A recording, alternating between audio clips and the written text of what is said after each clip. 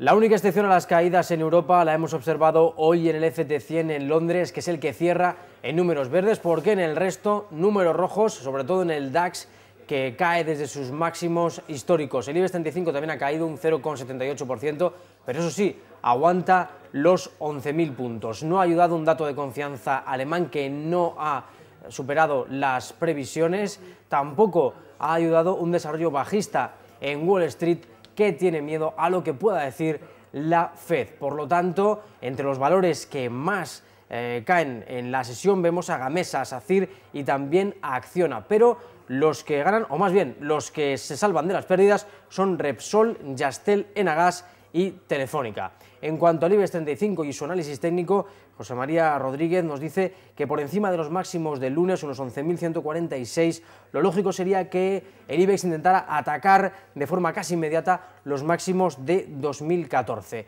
Además, el euro se ha apreciado ligeramente hasta los 1,6 dólares y el petróleo, eso sí, trata de mantener los 43 dólares el barril, pero ha tocado mínimos del año en 42,63. Ya saben que tienen toda la información financiera y económica en su portal bolsamanía.com.